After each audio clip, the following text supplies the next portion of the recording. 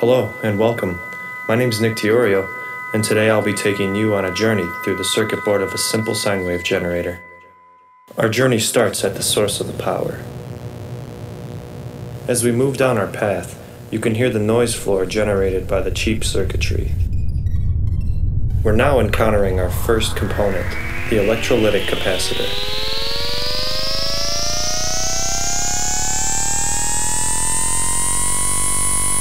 After our signal charges, we depart from the capacitor and now we enter the transistor.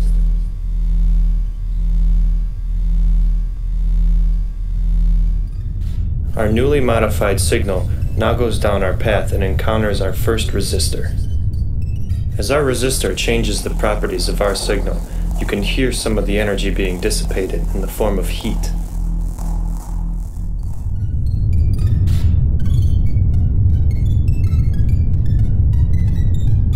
Now we're entering the large space and domain of the integrated circuit.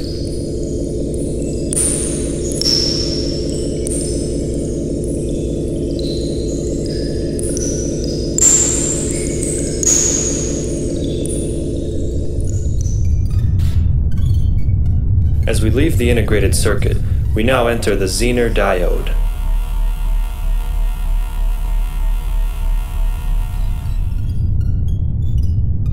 Our new signal heads into another resistor.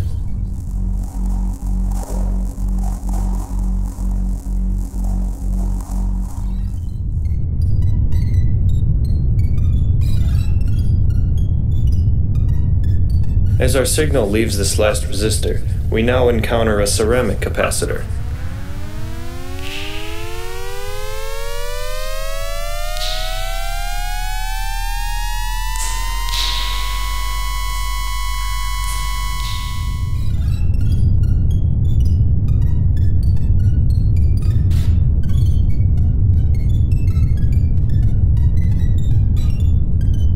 Our signal is now in the final stages of its growth as we encountered the last integrated circuit.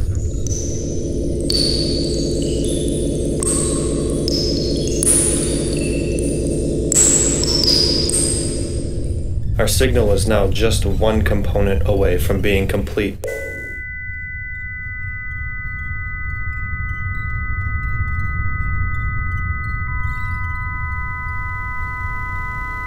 Our newly generated signal is now free to test your sound system.